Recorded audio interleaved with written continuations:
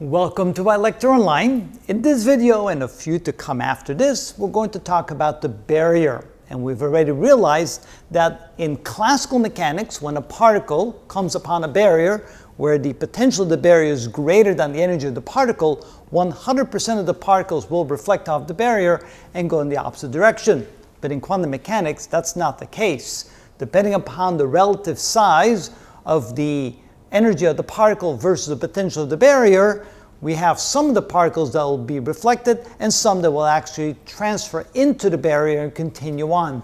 And if the barrier isn't very wide and the particle has sufficient energy, it can actually tunnel through the barrier and continue on the other side as if the way we've depicted right here. So we have the three regions, region 1, region 2, and region 3.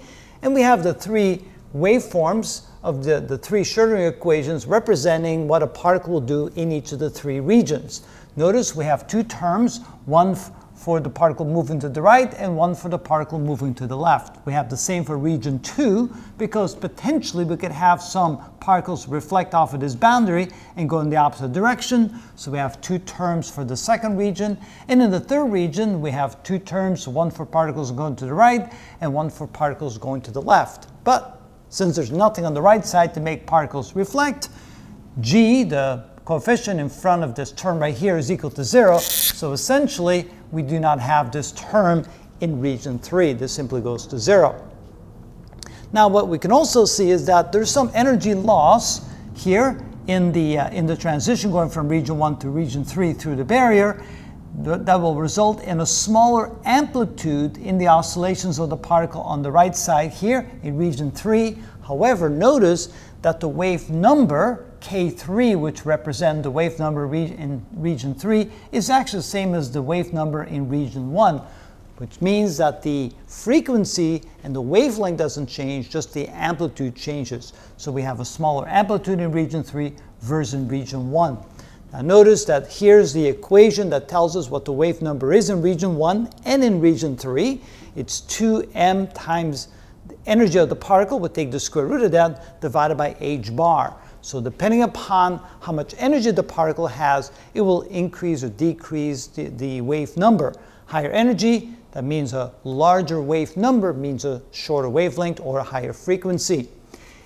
In the barrier itself, notice we no longer have an oscillatory function. We have actually an exponential decay function, and that exponential decay coefficient is, is indicated by alpha, which is the square root of 2 times the mass of the particle times the difference in the energy of the barrier versus the energy of the particle. We always write the energy of the barrier first, knowing that this is larger than E, and so that's what we have right indicated right here. So it will be an exponential decay function going from the left side of the barrier to the right side of the barrier, which also means that any particles reflected off the back side of the barrier here, when they go the other direction, there'll be an exponential increasing function, and that's indicated by these two terms right here. A negative for exponential decay, a positive for exponential increase, moving from right to left.